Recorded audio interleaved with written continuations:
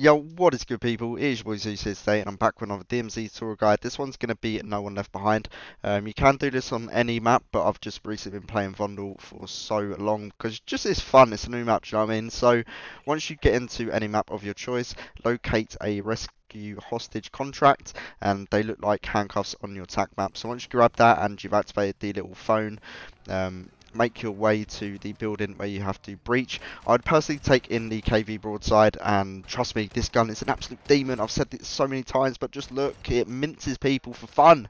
Um, and it's just going to make it so much easier because you're going to be in close combat and you want to take them out relatively quick because you're on a time frame of about a minute before the um, bomb does blow up. So once you've cleared the room and you've disarmed the bomb, grab the hostage and then have your friend drive the vehicle. Um, the quads are probably the easiest to get onto.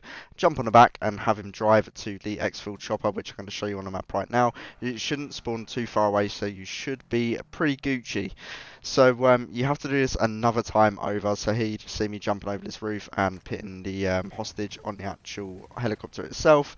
Um, if you're solo, you're probably better off running rather than trying to get a vehicle.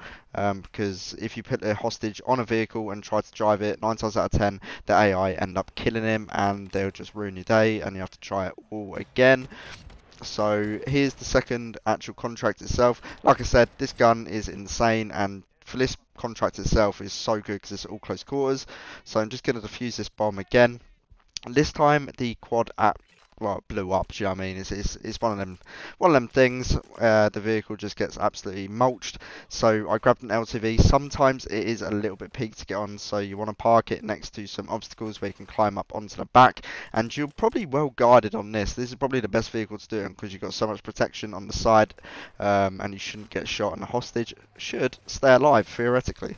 So for this bit, you're just going to want to go to the exfil chopper and lower the hostage. You don't actually have to exfil with him, so you can just drop him on there and have fun with the rest of your game. So if this video has helped you, please drop a like down below. And if you're new to the channel, hit the subscribe button, it really helps me out. And as always, people, it's been your boy Zeus, and I'll see you next video. Peace!